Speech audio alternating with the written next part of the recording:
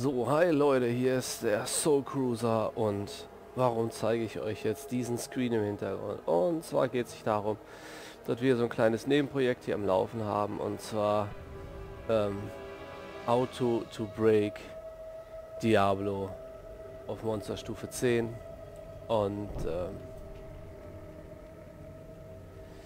wir sind schon dabei auszutüfteln und zu klügeln, wie wir das am besten machen und ähm, Taktiken am Ausdenken.